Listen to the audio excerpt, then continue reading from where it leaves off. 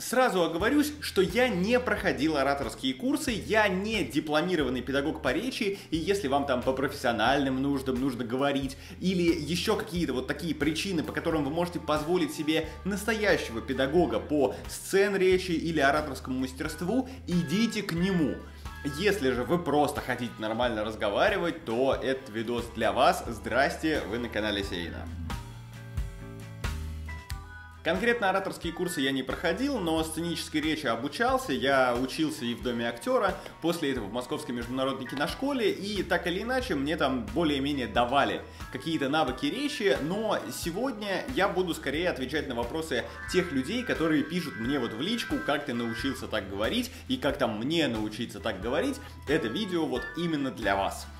А, начнем с того, что я не буду здесь говорить э, банальные штуки в духе «читайте книги, и чем больше книжек вы прочитаете, тем лучше вы будете говорить». Я думаю, прям прямой корреляции нет, и если вы там какой-то бешеный полиглот, то это не значит, что у вас будет нормальная речь. Вообще, главная штука, которую стоит понять про сам процесс хорошего и правильного говорения, это то, что это такой же навык, как, допустим, игра на гитаре или э, какое-нибудь собирание пазлов, кубика Рубика на скорость. Это набор паттернов. Что я имею в виду?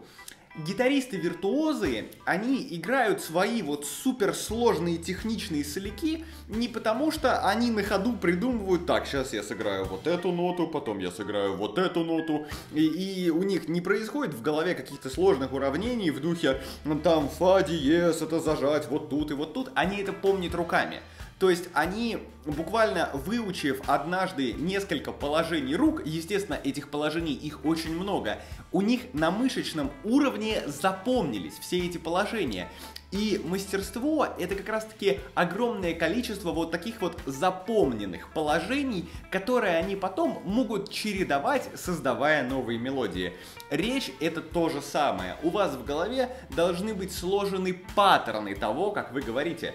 То есть, когда мы говорим, что по сути происходит, нам либо задают вопрос, либо нам нужно просто сформулировать вот э, какую-то речь, монолог с самого начала, да, а, все это можно поделить на какие-то логичные части. Например, э, сначала нужно поздороваться, потом нужно дать небольшое введение, потом нужно подготовить человека к объяснению того, о чем ты говоришь, и потом разделить это на маленькие детали и подвести итог. Вот просто для примера, да?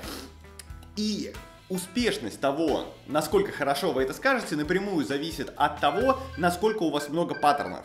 Как раз когда люди говорят э, э, или всякие такие мусорные слова в духе а, таким образом, вот по этой причине, короче говоря, все вот это вот люди произносят, потому что у них не находится нужного паттерна. Они как раз-таки в своих чертогах разума, они теряются, у них там как в Спанч Бобе вот эта вот бешеная канцелярия, все перебирают бумажки, не знают, что сказать, и поэтому возникает это э. И резонный вопрос, где брать эти паттерны? Во-первых, да, книжки. Я обещал, что не буду здесь их советовать, но если вы читаете книжки именно с этим вот мотивом и пытаетесь находить для себя новые фразы, конструкции, и обращать внимание именно на язык то это действительно может помочь. Но опять же, если вы будете читать какую-нибудь там, блядь, э, современную русскую фантастику, то вы наоборот засрете себе речь всяким говном, вполне вероятно.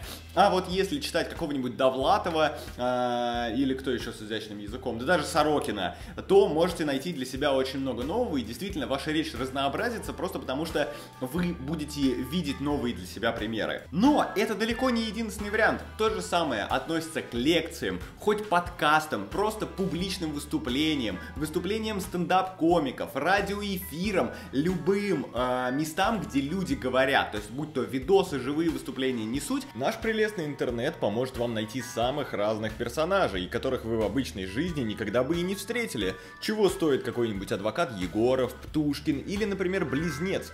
Чувак работает в обычной компании и при этом пишет авторские комедийные песни, заливая все это на ютубчик. Меня очень мотивируют подобные примеры, и не только потому, потому что творчество живет в любых условиях, а еще и потому что сейчас его можно донести до масс буквально парой кликов. Наше же дело на всем этом учиться и поддерживать подобных вот самородков.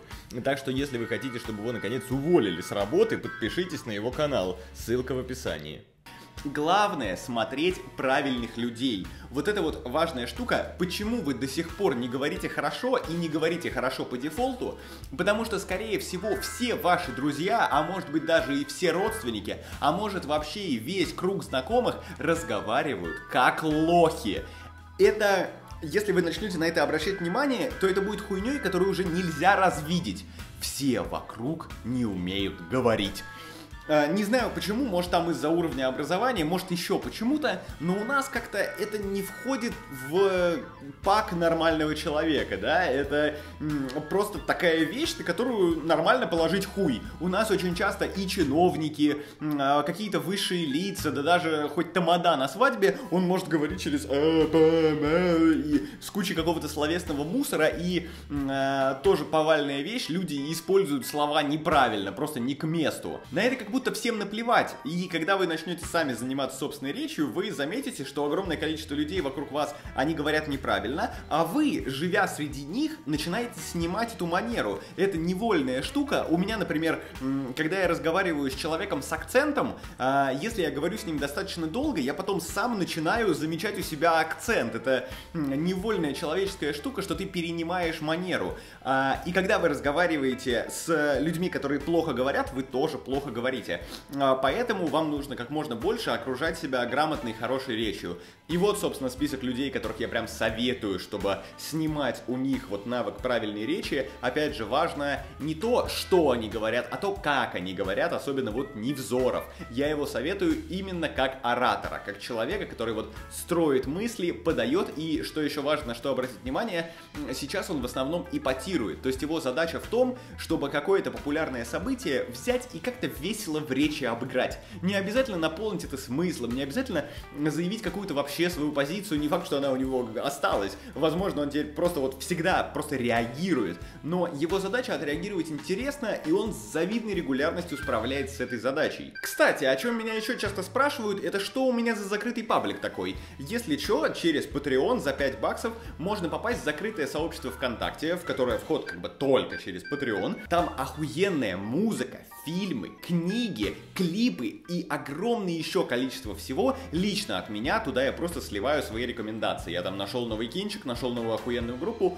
тут же слил свой в закрытый паблик, там вот почти ежедневно выходят посты, и, собственно, все, больше не спрашивайте меня об этом, в описании есть инструкция по тому, как туда попасть, к теме ролика. И прогресс вашей речи будет заметен не сразу. Честно говоря, лучше всего, если вы, в принципе, будете постоянно говорить вслух. Вот вы там один в квартире или а, один у себя в комнате, можете представлять просто в голове, что у вас берут интервью. Или, допустим, когда вы смотрите смотрите ролик про что-то, пробуйте вслух высказывать свое мнение на этот счет. То есть, допустим, там э, смотрите какие-нибудь новости, вот там э, открыли новый памятник в Нефтекамске, да, и вот вы берете и как будто вас спросили, что вы думаете про этот памятник, и вы такие, я считаю, что вот то-то, то-то, то-то, то-то, то-то, и пытайтесь как можно больше сказать одним куском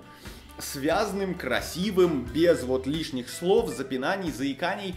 И э, я думаю, очень долгое время, для вас это будет целая бесконечность, вам будет казаться, что прогресса нет вообще. Что вы как будто наоборот еще больше тупеете и еще хуже говорите, чем говорили до этого.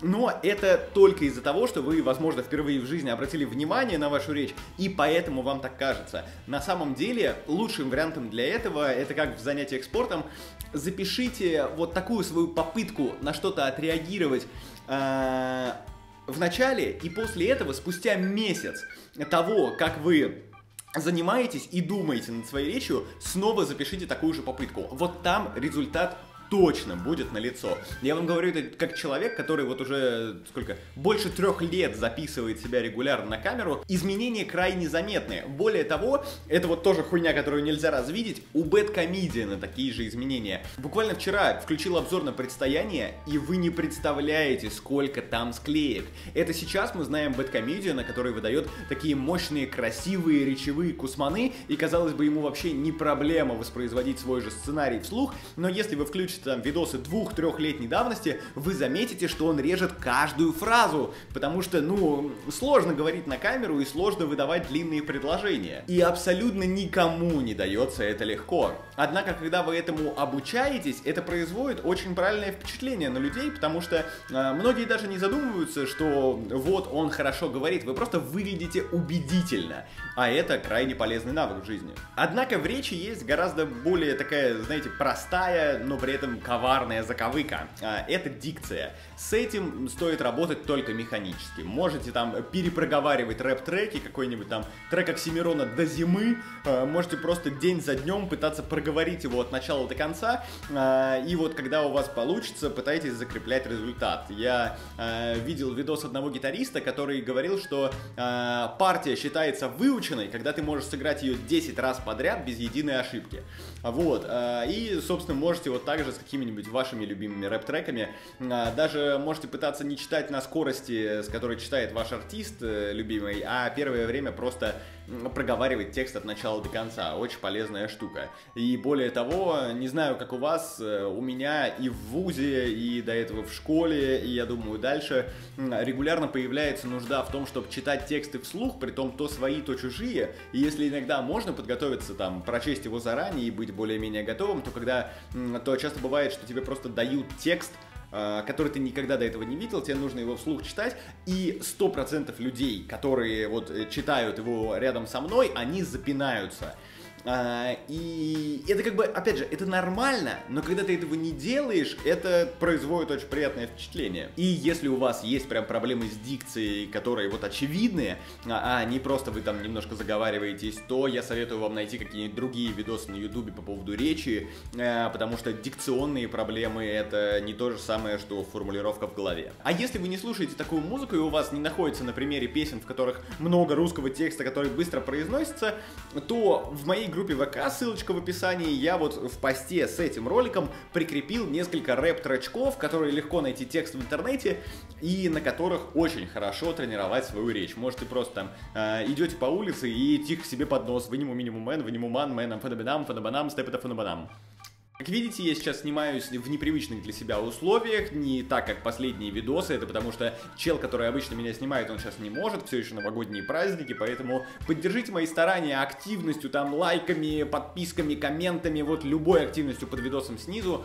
Подписывайтесь на мои соцсети, особенно на мой супер охуепиздрительный инстаграм. А, еще не забывайте про мои паблики ВК, про камерный канал, где выходит интервью с молодыми актерами, подкаст на Артификсе. А еще спасибо, что досмотрел. Ты знаешь, где кнопка кнопка подписки.